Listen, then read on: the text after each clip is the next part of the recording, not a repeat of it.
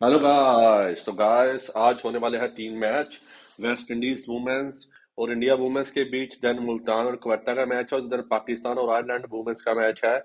तो आइए दिखाते हैं आपको मैंने कौन कौन से पिक्स चूज़ किए हैं और आगे आने वाली यूए सीरीज़ भी अब रारियो के ऊपर आएगी और अफ़गानिस्तान के साथ जो सीरीज़ होने वाली उनकी ट्वेंटी टी ट्वेंटी मैचेज हैं, वो होंगे. और बाकी आपको पता है वुमेन्स वर्ल्ड कप चल रहा है और सुपर लीग चल रही है पाकिस्तान वाली पीएसएल तो गाइस आइए देखते हैं मैंने कौन कौन से प्लेयर चूज़ किए हैं तीनों मैचों के लिए। सबसे पहले बात करते हैं हम, पहले मैच की जो है वेस्ट इंडीज और इंडिया के बीच।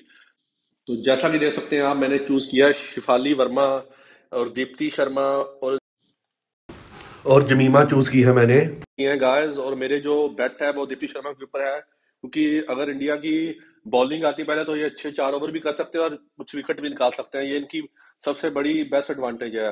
और शिफाली वर्मा को इसलिए रखा है क्योंकि वो ओपनर है स्कोर करेंगे करेंगे। अच्छा परफॉर्मेंस उन्होंने काफ़ी मैचों में रहा है तो वो आज भी अच्छा परफॉर्म करेंगे। इवन के अंडर नाइनटीन में बड़े ज़बरदस्त परफॉर्म किया था। तो गाइस ये थी मेरी पिक्स तो अगली वीडियो में आपको बताने वाला हूँ, मुल्तान क्वेटा के मैच की।